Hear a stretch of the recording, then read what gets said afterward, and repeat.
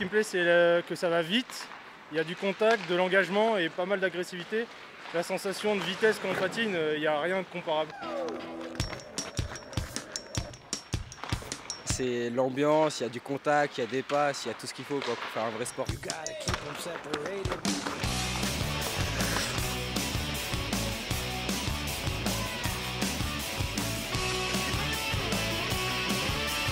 Bienvenue sur la patinoire de Limoges, terrain d'entraînement des taureaux de feu. Les hockeyeurs de la SPTT Limoges se préparent à jouer un match du championnat de Détroit, quatrième niveau de ce sport en France. L'équipe est en reconstruction, l'objectif du club est de se structurer avant de projeter une montée en D2.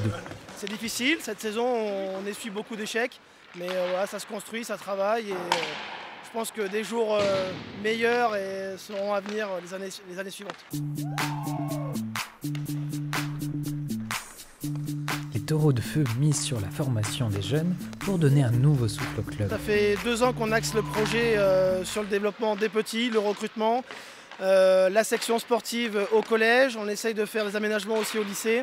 On est vraiment basé sur la formation et euh, on essaye de maintenir une équipe première avec un, vivier de jeunes du club qui compose vraiment cette équipe, euh, cette équipe senior. Le hockey fait partie des sports dont le déclic se fait souvent au plus jeune âge. Depuis que je suis tout petit, mes parents cherchaient un sport que je pouvais faire le soir après leur travail. Euh, parce que quand j'étais petit, mes parents ils cherchaient un sport et comme c'est ouvert à partir de l'âge de 4, de 4 ans, bah, je suis venu et voilà. Ne renonçant devant aucune adversité, les taureaux de feu abordent leur fin de saison avec détermination.